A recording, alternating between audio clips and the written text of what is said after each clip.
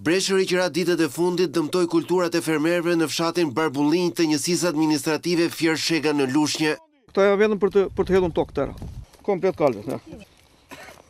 Kjo është hera e parë që këta fermerë përballen me një fatkeqësi natyrore pasi u janë dëmtuar rreth 100 hektarë sipërfaqe e mbjellë me pjeshkë. Fermerët kërkojnë ndihmë nga Ministria e Bujqësisë pasi e gjithë sipërfaqja e dëmtuar nuk mund të prodhojë më këtë vit. Ka gjysëm ore breshër i paparë. Që na ka dëmtuar zëre se njëqind për qind. Kërkojmë ndihmë nga shteti. S'ka pare shtëpia. Këto lekë janë marrë në në borxh. Një Zot i madh e di nga do vemi sivjet me këtë dëm që është bërë. Fshati Barbullinj është një nga zonat me sipërfaqen më të madhe të pemtarisë. Shumë nga këta fermerë janë kthyer nga emigrimi për të investuar kursimet në vendin e tyre.